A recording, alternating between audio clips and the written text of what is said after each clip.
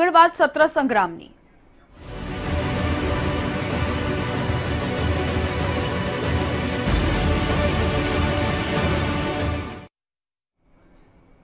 આજે પાટનગર ગાંધીનગરમાં વિધાનસભાનો અંતિમ દિવસ છે. મોન્સૂન સત્રનો અંતિમ દિવસ છે. ઘણા બધા વિધેયકને લઈને ચર્ચા કરવામાં આવશે. વિધાનસભામાં જો કે વિપક્ષ પણ આકરા મૂડમાં નજરે પડી રહ્યું છે. બીજી તરફ વિધાનસભા ગૃહમાં કેગનો રિપોર્ટ રજૂ કરવામાં આવ્યો છે. વર્ષ બે હજાર અઢાર ઓગણીસનો વાર્ષિક અહેવાલ રજૂ કરવામાં આવ્યો. આર્થિક અને મહેસૂલ ક્ષેત્રે રાજ્યની નાણાકીય પરિસ્થિતિ જણાવવામાં આવી. સામાન્ય સામાજિક ક્ષેત્રે પણ ઓડિટ અહેવાલ રજૂ કરાયો.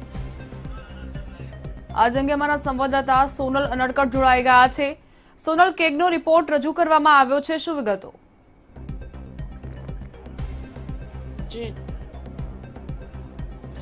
જી દીપા વર્ષ બે હજાર અઢાર ઓગણીસ માટેના જે કેગના હિસાબો છે, વાર્ષિક અહેવાલો છે તે રજૂ કરવામાં આવ્યા, જેમાં કેગ રિપોર્ટ રજૂ થયો છે. જે મુખ્ય રિપોર્ટ રજૂ થયા છે તેમાં આર્થિક અને મહેસૂલ ક્ષેત્રના તેમજ રાજ્યની નાણાકીય પરિસ્થિતિ સંદર્ભના કેગના અહેવાલ, સામાન્ય અને સામાજિક ક્ષેત્ર માટેના અહેવાલ, તેમજ જાહેર ઉપક્રમો અંગેના જે ઓડિટ અહેવાલ છે તે રજૂ થયા છે.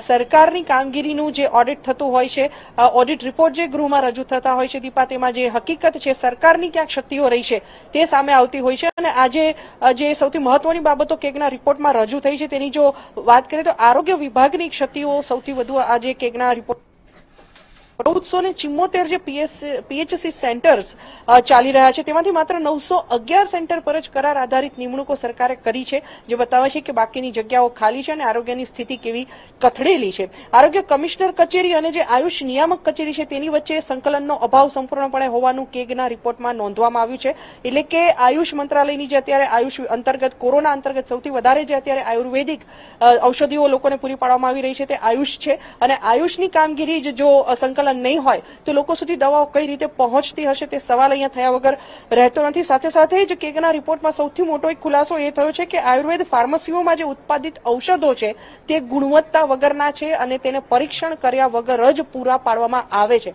આ સૌથી મોટો ખુલાસો કહી શકાય દીપા કેમ કે અત્યારે આયુર્વેદિક દવા પર કોરોના કાળ ભારે આપવામાં આવી રહ્યો છે અને આવા સંજોગોમાં જ્યારે સરકાર તરફથી જ ઉપલબ્ધ થતી દવાઓ જે છે સરકારી હોસ્પિટલોમાં, આયુર્વેદિક હોસ્પિટલોમાં મળતી દવાઓ છે, જ્યારે ગુણવત્તા વગરની અને ચકાસણી વગરની હોય, પરીક્ષણ વગરની હોય સર્ટિફાઈડ ન હોય, ત્યારે દર્દીના સ્વાસ્થ્ય પર શું અસર પડશે તે સવાલ અહીંયા થયા વગર રહેતો નથી. ઓઢવ અને અમદાવાદની જે કોઓપરેટિવ ફાર્મસીઓ છે, તેમાં જ આ દવાઓનું ઉત્પાદન થાય છે, દીપા, અને તેની જ જે આ દવાઓ છે, તે સર્ટિફાઈડ નથી, તેનું પરીક્ષણ પણ કરવામાં આવતું નથી અને તેની ગુણવત્તા પણ ચકાસવામાં આવતી નથી એટલે સૌથી મોટો સવાલ અત્યારે આયુર્વેદિકની દવાઓનો જે જથ્થો સરકાર તરફથી ઉપલબ્ધ કરવામાં આવે છે, સરકારી આયુર્વેદિક હોસ્પિટલોમાં, તેની સામે થયો છે કેગના રિપોર્ટમાં. અને જિલ્લામાં જે ડ્રગ ઇન્સ્પેક્ટરોની કામગીરી છે, તેની સામે પણ કેગના અહેવાલમાં સવાલ ઉઠાવવામાં આવ્યો છે, કેમ કે આ જે ડ્રગ ઇન્સ્પેક્ટરો છે, તેમના તરફથી જે તે દવાના ઉત્પાદકોને ત્યાં સમયાંતરે જે ચેકિંગ થવું જોઈએ છે, ચેકિંગ થતું જ નથી, તેવો આક્ષેપ પણ આ કેગના રિપોર્ટમાં સામે આવ્યો છે, ખુલાસો થયો છે સૌથી મોટા બાબતનો.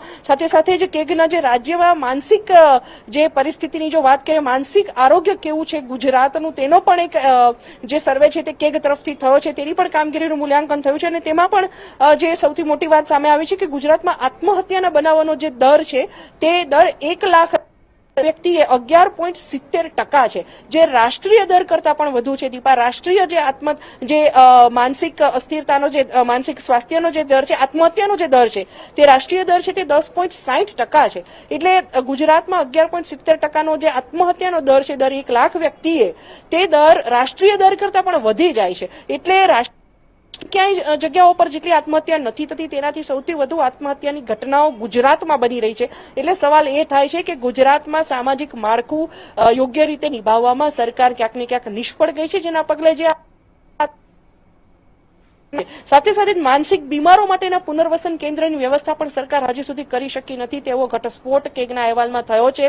અને માનસિક રીતે કથળેલી પરિસ્થિતિમાં જ્યારે દર્દીને હોસ્પિટલમાં દાખલ કરવામાં આવે અને ત્યારબાદ જ્યારે તે સાજો થાય, ત્યારે તેને હોસ્પિટલમાંથી રવાના કરવાનો હોય છે, રજા આપવાની હોય છે. પણ આવા રજા ન અપાવવાના કારણે, એટલે કે તબીબોની સવલતો ન હોય કે કોઈ પણ જે સંચાલનમાં જે બેદરકારી રહી હોય એવા ઘણા કારણોસર આવા સાજા થયેલા દર્દીઓ, માનસિક રીતે સાજા થયેલા દર્દીઓ પાંચ પાંચ વર્ષ સુધી પુનર્વસન કેન્દ્રમાં જ સબળ્યા છે. આવો જે ઉલ્લેખ છે તે કેન્દ્રના કેગના અહેવાલમાં કરવામાં આવ્યો છે. એટલે જોઈ શકાય છે કે સરકારની માનસિક આરોગ્ય પ્રત્યે પણ કેટલી બેદરકારી છે તે આજના કેગના રિપોર્ટમાં સામે આવ્યું છે. સાથે સાથે સરકારની ટેન્ડર સામે હંમેશા સવાલો ઉઠતા જ રહ્યા છે.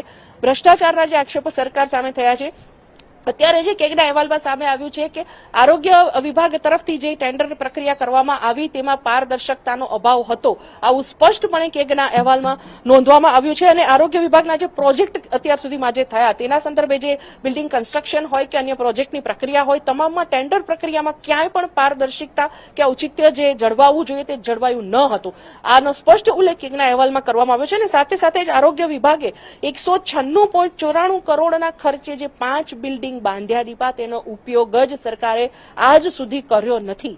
તો આટલી મોટી રકમના ખર્ચે જો બિલ્ડિંગ બાંધ્યા પછી તેનો ઉપયોગ જ ન કરવાનો હોય, તો એકસો ચોરાણું કરોડ એટલે કે એકસો પંચાણું કરોડ જેટલી જે રકમના ખર્ચે બિલ્ડિંગ બાંધ્યા, તેનો મતલબ શું? તે સવાલ અહીંયા થયા વગર રહેતો નથી. આટલી મોટી રકમ પ્રજાના પૈસા જ્યારે સરકાર રીતસર વેડફી રહી હોય તેવી બાબત કેગના રિપોર્ટમાં સામે આવી છે. સાથે સાથે સત્યાવીસ કરોડથી વધુની રકમની જે ડિસઇન્ફેક્ટેડ સિસ્ટમ હતી, એ સિસ્ટમનો ઉપયોગ જ કાર્યક્ષમતા હોય તે બિન કાર્યક્ષમ રીતે જ પડી રહી છે. વર્ષો સુધી તેનો ઉપયોગ કરવામાં જ આવ્યો નથી. આ બાબત પણ કેગના રિપોર્ટમાં સામે આવી છે. એટલે કહી શકાય કે સરકારની અત્યારની જે આરોગ્ય વિભાગની જે પરિસ્થિતિ છે તે આજના કેગના અહેવાલમાં સામે આવી છે. સાથે સાથે જ ઘન કચરાનો નિકાલ જે સરકાર કરે છે. અમદાવાદની જો વાત કરીએ દીપા, તો સૌથી મોટો કચરાનો ઢગ જે ખડકાયેલો છે અમદાવાદમાં કે જે ઝેરી વાયુ ફેલાવી રહ્યો છે. વર્ષોથી અમદાવાદ મ્યુનિસિપલ કોર્પોરેશનને વિનંતીઓ કરવામાં આવી છે કે તેનું વૈજ્ઞાનિક રીતે નિરાકરણ લાવવામાં આવે, પણ અત્યારે કેકના અહેવાલમાં એ બાબત પણ સામે આવી છે કે ઘન કચરાના કલેક્શનથી માંડી અને તેની ડમ્પિંગ સાઇટ સુધીની જે સમગ્ર પ્રક્રિયા છે, તેમાં ક્યાંય જ મ્યુનિસિપલ કોર્પોરેશન હોય કે સરકારનો આરોગ્ય વિભાગ હોય કે કોઈ પણ હોય, ક્યાંય પણ સંકલન જોવામાં આવ્યું નથી. અને તેના કારણે થઈને ઘન કચરાનો જે નિકાલ છે તે યોગ્ય રીતે થતો નથી. જે ઘન કચરો શહેરભરમાંથી કલેક્ટ કરવામાં આવે છે, તેમાંથી માત્ર પચીસ ટકા, દીપા, માત્ર પચીસ ટકા જે કચરો છે, તેનું જ વૈજ્ઞાનિક રીતે પૃથ્થકરણ કરવામાં આવે છે અને તેને પ્લાન્ટ સુધી લઈ જવામાં આવે છે. બાકીનો જે પંચોતેર કચરો છે તેને સીધો જ ડમ્પિંગ કરવામાં આવે છે. એટલે આ પ્રક્રિયામાં સીધો સવાલ અમદાવાદ મ્યુનિસિપલ કોર્પોરેશનની ભૂમિકા સામે પણ થાય છે કે એક તરફ કોર્પોરેશન બણગા ફૂકી રહ્યું છે કે તે કચરાનો ભીનો કચરો અને સૂકો કચરો જુદો નાખવો, સાથે સાથે જ નિયમો પણ બહાર પાડે છે કે ભીનો અને સૂકો કચરો જો અલગ નહીં તારવો, તો પગલાં લેવાશે, કચરો કલેક્ટ કરવામાં નહીં આવે. આવી પણ જાગૃતિની જે ગુલબાંગો છે તે કોર્પોરેશને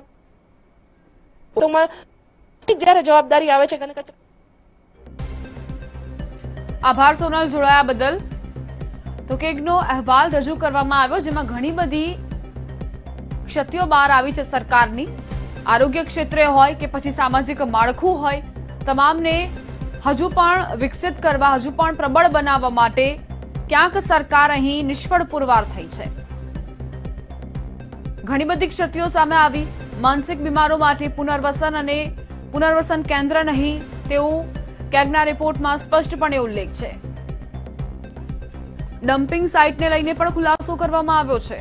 એક તરફ, મહાનગરપાલિકાઓનું જે કોર્પોરેશન છે, તે અલગ જ વાત કહે છે, અલગ જ બણગા ફૂંકતું હોય છે. બીજી તરફ, જમીની હકીકત કંઈક ઓર.